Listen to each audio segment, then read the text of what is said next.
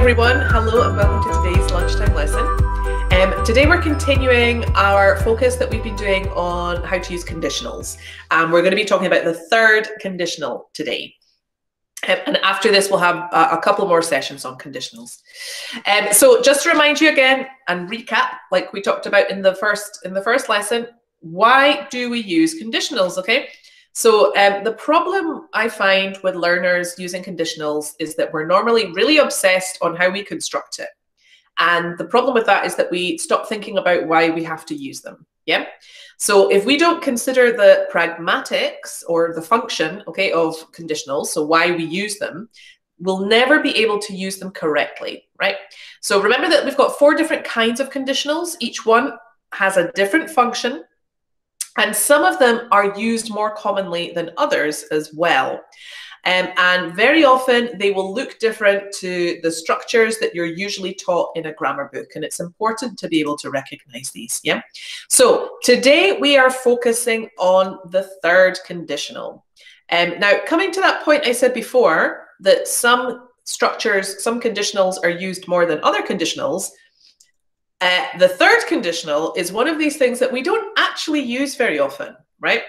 Um, teachers get obsessed with teaching the third conditional, students get obsessed with learning the third conditional, and it's not really a very common structure. You are going to use the first conditional a lot more in your day-to-day lives, especially if you go back to uh, if you go back and check out the video that we did on the first conditional especially with those alternative structures, that's going to be much more helpful and useful language for you than a third conditional will. However, um, the third conditional does get used, and if you are going to do an exam or something like that, third conditionals are these things considered more advanced grammar structures that can increase your mark. Okay, so that's what we're going to be thinking about today. So the third conditional, remember that a condition, a conditional always has a condition, yeah? Um, and that means that, like the other conditionals we've looked at, there will be two aspects a situation clause and a consequence clause. Okay, so we use the third conditional to talk about hypothetical situations, but in the past. Yeah, so that basically means we're using it to talk about things that did not happen. Right. For example, here's two scenarios. Here's my situation miss the bus okay, my hypothetical situation, and arrive late is my hypothetical consequence. So if I've got my two um, clauses to express this, the situation will use the if clause, although, like we've seen before, very often it's not expressed with the word if, and you will have a consequence clause, which will be your auxiliary clause. And the auxiliaries can have lots of different variations, as we've seen before and as we'll see today.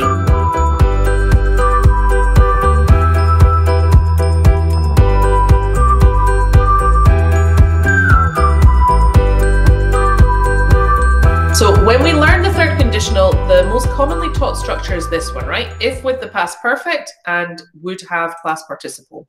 So if I use my example I had before with miss the bus and arrive late, it would look like this in a sentence. If I hadn't missed the bus, I wouldn't have arrived late.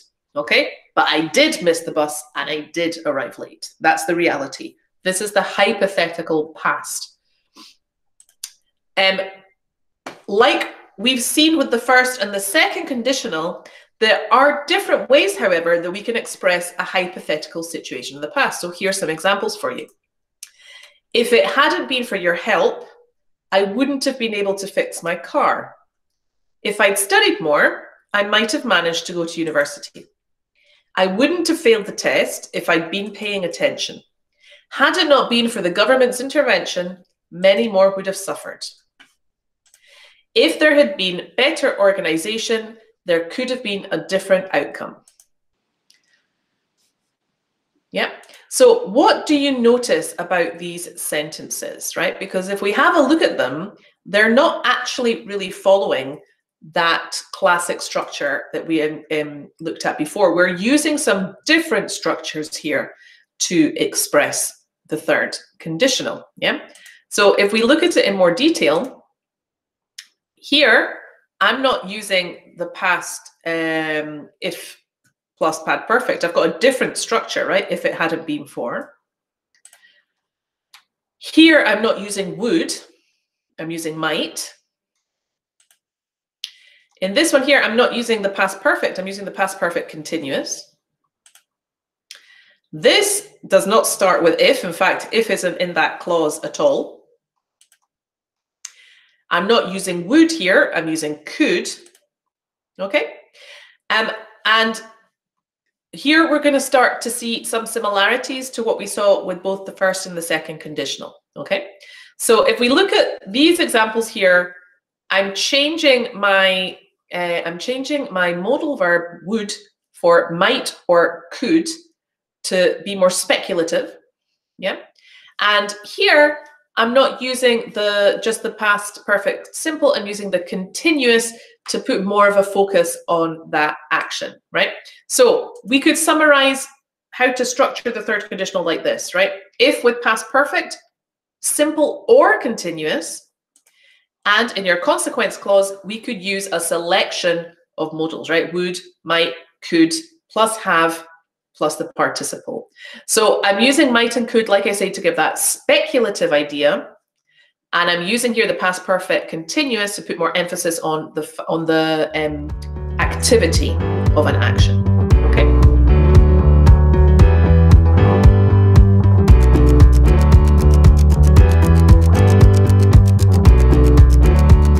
Now there was two other sentences here which I want to look at in a bit more detail. These ones here. If it hadn't been for your help, and had it not been for the government's intervention. So these are a bit different from the two structures we just saw before. And what we need to consider with these ones is the register, the tone, and the form that we're using them with. Okay, so let's look at this one first. If it hadn't been for your help, I wouldn't have been able to fix my car. Yeah. So if I if I wrote that sentence as a normal third conditional, like the ones we always learn in the grammar books, what would it look like? Yeah, just have a little think. How would that sentence look if it was a normal third conditional? Okay. So hopefully you would say this. If you hadn't helped me, I wouldn't have been able to fix my car. Right? So if we look what's changed here, yeah, Instead of you, I have a different subject. I have it. Okay. And instead of a verb over here, I've got a noun. Yeah. And um, I've changed the meaning is the same, but instead of focusing on the person, I'm focusing on the the activity or or the noun of that action, right? Try this one. If he hadn't worked hard, we couldn't have afforded it. So think about how you would change that sentence using this structure if it hadn't been for. Okay, so take a second, think about your answer.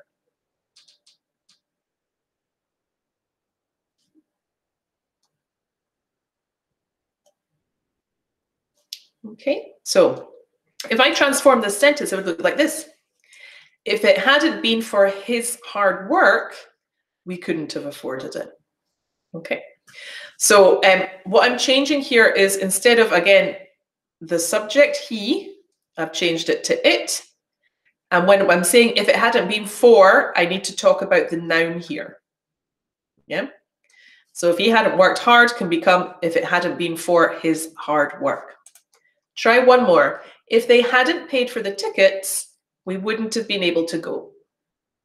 Okay. So again, how would you change that part of the sentence to reflect if it hadn't been for?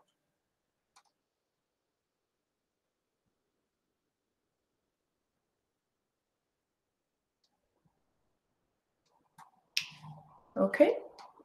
So if I change that part of the sentence, I could say um, a couple of things, right? If it hadn't been for them paying for the tickets, or I can change the verb, if it hadn't been for them buying the tickets. Yeah, both of these would be fine. We wouldn't have been able to go. Now you'll notice here, guys, um, I've made my noun using a gerund. Okay, so in the previous examples, help is a verb and a noun, work is a verb and a noun, but here pay and buy we need to use the gerund to transform them into a noun phrase. Okay. All right, so this is something that's much more commonly used in spoken English. It's not something that you should use in your written English, and the register is fairly informal to neutral. We're going to use it a lot when we're chatting with friends, um, you know, uh, maybe maybe also in a working situation. Uh, but yes, it's got to have this idea of um, obviously it could be used in writing, but it would be in an informal text like a letter to a friend. It's not something that you would want to produce in an essay, for example. Okay. Now, let's think about this structure. Had it not been for the government's interventions, many more would have suffered. Does anyone remember what this is? We saw an example of it with the second conditional. So this one, guys, this is what we call an inversion. Yeah. So we saw it with the second conditional. It's the same idea. And please remember that we use inversions so that you can elevate the register of your writing to be much more formal. So inversions are not something that will appear in written English. Inversions are something, uh, sorry, inversions are not something that will appear in spoken English. It's something that will appear in your written English. But it's a really good skill to be able to produce, especially for anyone planning to take exams in English. Uh, it's a great way really to raise your marks. Okay, so if I'm making third conditional inversions, they look like this. Yeah. So if we look at what we're doing here, I am taking away my if. Yeah. And I'm moving had to the beginning of the sentence. And that's all I'm doing, right? It's really not a complicated thing to do. So instead, if we had arrived sooner, take away if, move had to the front, had we arrived sooner. Okay. Here, I've got um, an adjective, right? And all I'm going to do is the same thing again. Take away if, take had, move it to the front of the sentence. Okay. Had I been more organized, I'd have been a better student right? And that's all you have to do. So inversions can sound like really scary, complicated things, but they're not that difficult to produce. And they're um, fantastic for your formal written English, especially in exams, to get those higher marks. Okay. So I really recommend trying to bring them into your writing. Right. So remember in the last session we did on the second conditional, I explained that a good way to try and remember how to speak hypothetically in English is this thing about back chaining. Okay. And this can be a useful rule when you're not quite sure how you need to structure your sentence. So the rule to remember is that when we speak hypothetically, we always have to go back one tense, right? So if I'm speaking hypothetically, hypothetically, hypothetically about the present, I'm going to go back one step and I'm going to use the past simple to talk about that, right? So if I win, I'll call you would become if I won, I'd call you. Okay? So that's a hypothetical present. And it's the same rule if we want to talk hypothetically about the past, we take one step further back, right? And it would become if I'd won, I'd have called you. Okay? So if you remember that rule, it can be really helpful especially when you're speaking and trying to speak quickly or fluently, to remind yourself about how you need to construct these.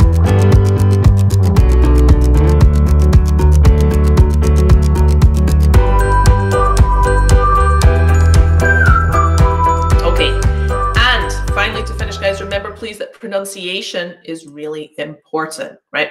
So the third conditional is particularly challenging when we have to produce it fluently and quickly because of the amount of contractions that we will do because there's so many auxiliary verbs.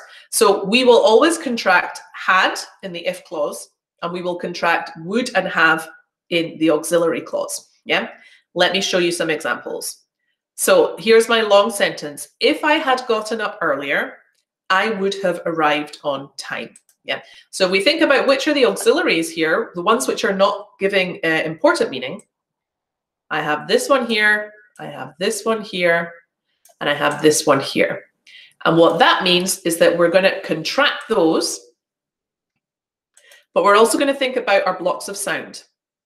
Okay, so remember, if I make a contraction with I had, it's not I'd gotten up. Okay, that would be your block of sound if I'd gotten up. Okay, and the same here. If I've got would and have that I need to contract, it's not I'd have. I have to think about my block of sound. I'd have arrived. Yeah, you need to think about all of those sounds being complete together. Okay, so if I was writing it, my contractions would look like this. If I'd gotten up earlier, I'd have arrived on time. I'm not going to do two contractions here because that's confusing and it looks really horrible in written English. I will only contract would. It would be the same here. Remember, if I've got a proper noun, guys, we don't write contractions on proper nouns. We only write contractions on pronouns. So that sentence would look like that, okay? I would never write this if Claire had gotten up. That looks horrible. But I would write it here, she'd. Yep, she'd have arrived on time. When we're speaking, though, it gets even more complicated. So this is the trailer from a film called uh, Sliding Doors. Yeah. So I'm going to show you the a clip from this trailer. I don't know if anyone's seen the film. It's Gwyneth Paltrow. It was a very big hit in the 90s. Um, and it's about a woman that um, one day misses a train and her life goes one in one direction. And it imagines that in the same time she catches the train and you see her life in the other direction. So you see what would what would have happened if she catches a train or misses a train. So i'm going to play some of this for you and then i'm going to pause it and rewind and i want you to write down what gwyneth paltrow says okay? So here we go and i'll tell you when to listen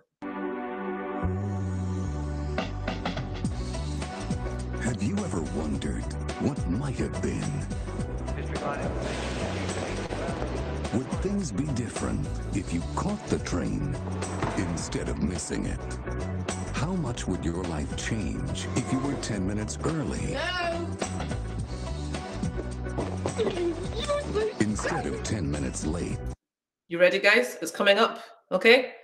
Write down what Gwyneth Paltrow says. Helen? If I had just caught that train, I'd have been home ages ago. Okay, let me rewind it for you. You can listen again. What does she say?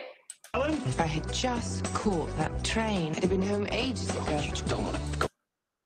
Okay, and one more time. Helen? If I had just caught that train, I'd have been home ages ago. Okay, now the reason I'm showing you this is not to make you suffer but it's to prove that this uh, pronunciation and this contraction is real. Okay, so this is what Gwyneth Paltrow wrote, said. If I had just caught that train, I'd have been home ages ago. Yeah. Okay. And this shows us the kind of contractions we're making in our pronunciation of the third conditional, right? This is one block of sound. It'll look like that. I'd have been home ages ago. Okay. And what you can see is that these auxiliaries would have completely disappear, right? So um, the part that uh, in, in that transcription, which is saying would have, is this, guys. That part there is would have. Okay, I'd have. Right? And that's all disappearing into itself. And this, um, it's, uh, it is a very difficult thing to produce, but it's a really important one to be aware of. Okay, so we're contracting all of our auxiliaries and we have to make this block of sound. So if I had had more time, okay, in that sentence, the first had is the auxiliary. The second had is the main verb. So that means I will contract this one here. Okay, and you have to think of the block of sound. So it's not if I'd had more time, if I'd had, right? If I'd had, if I'd had more time. I would have gone to the shops. We have our auxiliary here and here, and those are the two that are going to get squashed together. and it will become I'd have gone. Okay? I'd have gone. I'd have gone to the shops. So if I said all of that sentence together, if I'd had more time, I'd have gone to the shops. Yeah? You can try repeating it with me. If I'd had more time, I'd have gone to the shops. And remember that the reason that it's important that we try to produce this pronunciation is for our listening skills, not so much for our speaking skills. If I say that sentence without the contractions, people will understand me. The problem is when you are listening to people and they say it with the contractions, you don't understand them. Okay. So remember, guys, the mantra if you can produce a sound, you can hear a sound.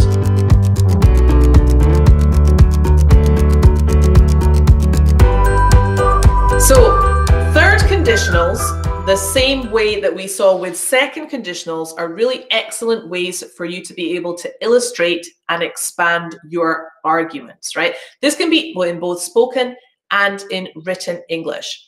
And that's because we can use them to create scenarios, okay? So here's some examples. If the internet had existed in the 1960s, politics might have been very different.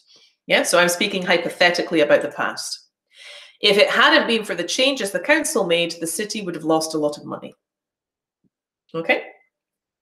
And these are great ways for me to illustrate and expand on my opinions about things. Had there been a larger investment, we could have seen a significant improvement. That means, because of this function, that they are fantastic for your writing, guys. If you're doing exams, they're especially useful in essays, in letters of complaints, and in reports. And they're fantastic to bring in to your part three uh, if you're doing proficiency or IELTS exams, or part four if you're doing FCE or CAE exam um, in your speaking, okay? Because they are considered more advanced structures and they will get you a higher mark for your language, yeah? Equally, if you're able to pronounce them with those contractions that we just saw before, that will get you a higher pronunciation mark too, because then you're demonstrating much more advanced phonological features. Yeah. But like I said, guys, at the beginning of the class, in your day-to-day English, you are going to use the first conditional a million times more than you're ever going to use the third conditional, right? So from a practical level, it's better to spend more time making sure that you understand all of those alternative ways that we saw in our first conditional lesson of expressing first conditionals with words like supposing or provided or in case, yeah, than killing yourself doing lots of third conditional exercises, which is a structure that is not going to organically or naturally come up very often when you're using English. Okay. It's great, like I say, especially for your exams to increase your language mark or your pronunciation mark. But in real life, it's not a structure that's going to appear very often. Okay, great. Um, so if you are following our classes, our regular classes, then you're going to have um, access to quite a few exercises to practice the third conditional that we've got in there. And of course, if you would like access to all of those, you can join our classes uh, for a regular in our regular groups or for the online unlimited uh, course, which is just fifty pounds a month as well.